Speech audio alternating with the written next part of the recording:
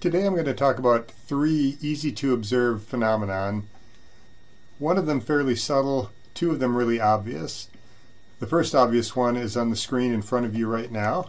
That is um, phases of the moon. So in this model, you see the girl here, she's holding a styrofoam ball. Off in this direction is a bright light representing the sun here. And if she moves this ball around to different positions and she looks at the ball, the side of the ball that's facing her, she's going to observe these different light patterns. When she's holding the ball right here, the side of the ball that's away from her is illuminated. So she's going to not observe any of the light, and that's just represented by this blank box right here. As she moves the ball over, she's going to see a little bit of it lit on the right hand side. As she moves it over even farther, she's going to see the right hand portion lit, the left hand portion dark, and so on, until when she moves it behind her and she actually turns around, if she could somehow hold the ball back here right now, she obviously wouldn't see it. So she has to turn around as well and look at it. And then she sees it fully illuminated. And then as the pattern continues, she's going to see these patterns. If you went out and asked people on the street what causes the moon phases, a lot of people would say it's the Earth's shadow. That sort of makes sense with the crescent phase because this almost does look like there's a round object that's blocking part of the moon. Same with over here. But crescent, uh, uh, the blocking of the moon by the Earth doesn't really make sense here with this flat shadow, and certainly doesn't make sense here with this gibbous phase. The better explanation, of course, is that the Earth is not blocking the moon. In fact, the Earth is only between the sun and the moon for this phase back here. So you might wonder, how can this phase be lit at all? We'll be talking about that next. But really what's causing the moon phases is the different perspective between the moon, the sun, which is over here, and the Earth. If we were to get in a spaceship here and we were to look down at the moon, Notice all of these phases from our point of view look the same. The half that's closer to the sun is lit, the half that's farther away from the sun is not lit.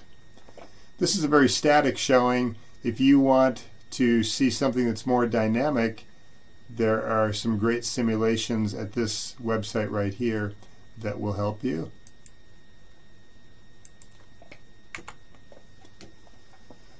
I mentioned the full moon phase, I actually didn't call it the full moon phase, but it was listed on that last slide, is the phase that was behind that girl's head.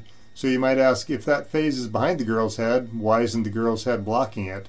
Or with the Earth, Sun, and Moon, if the Earth is between the Moon and the Sun, why isn't the Earth blocking the light from reaching the Moon? That's because the Moon, the Moon's orbit is on a tilted plate. So this shows this. This shows some water. And think of the water as the plane that cuts through the middle of the sun and cuts through the middle of the earth. So in here, that would be my arm. The moon also is on a plate. That plate, though, is not directly in line with the Earth-Sun plate. They're not coplanar, but the moon's plate is tilted slightly, and I've exaggerated the tilt. It's actually tilted about 5 degrees. So that means as the moon goes around the Earth, sometimes the moon is below the Earth-Sun plane, in this analogy below water. Sometimes it's above the Earth-Sun plane, in this case above water. So when the moon is between the Earth and the Sun, but below the Earth-Sun plane, it's not going to be blocking the sunlight. When the moon is behind the Earth, but above the Earth-Sun plane, the Earth is not going to block the moonlight. That only happens, that blocking only happens two times a year. Those are the so-called eclipse seasons. So over here, the new moon is going to be directly between the Earth and the Sun, and there's the potential for a total solar eclipse or a partial solar eclipse. We'll talk about that in a minute. When the moon is behind the Earth, here, and in the Earth-Sun plane, we could potentially get a lunar eclipse. So that happens here, and it happens over here. You might ask yourself, well, what seasons are those?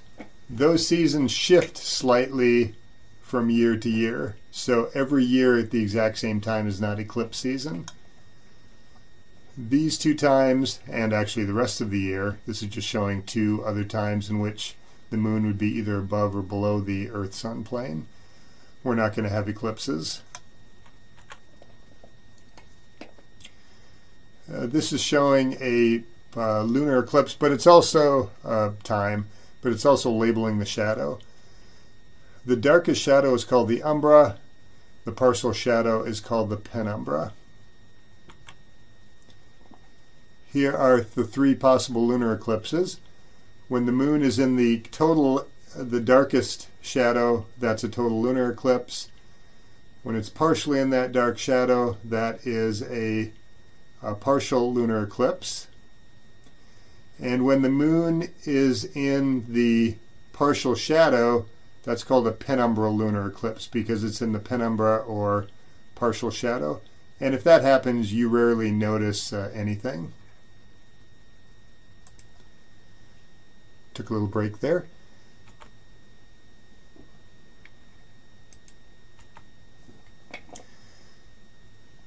Uh, here is a, uh, a diagram of a total solar eclipse. So before was the lunar eclipse.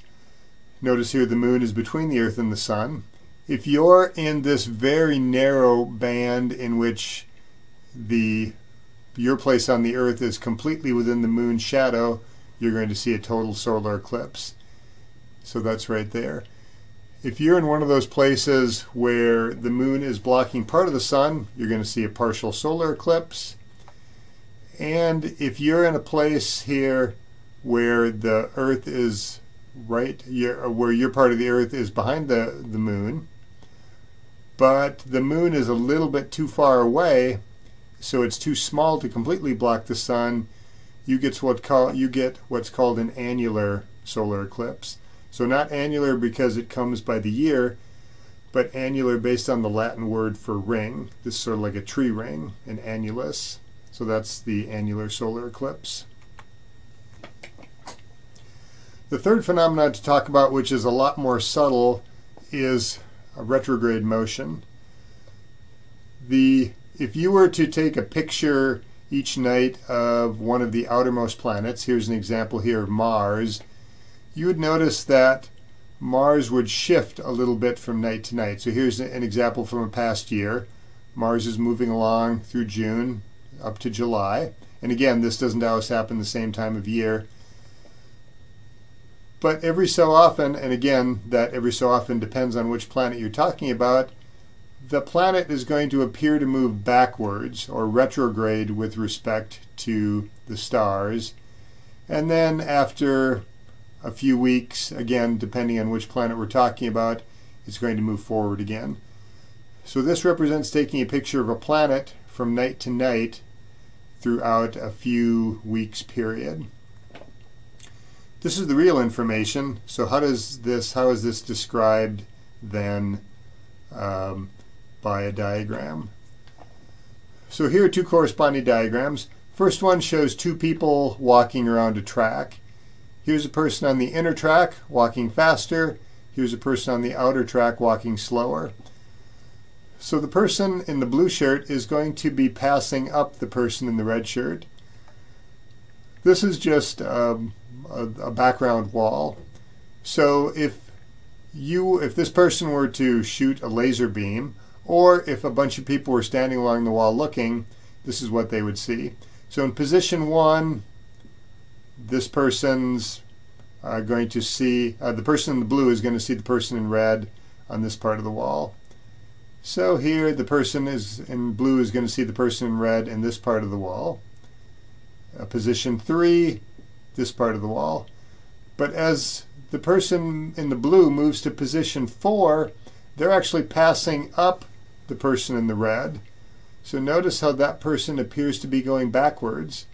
Position 5, same sort of thing. The person in red appears to be going backwards compared to the person in the blue.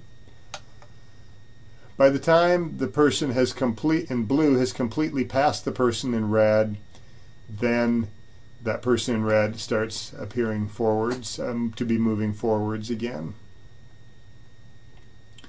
So while the person in blue is passing up the person in red, that is called retrograde motion. Here's that same diagram, but with planets instead. And instead of a wall in the background, here we are with the constellations in the background. So right here, the outer planet appears to be moving backwards on the border between the constellation Cancer and Leo. And thank you for watching that. If you need to watch it again, slow it down, feel free to do so.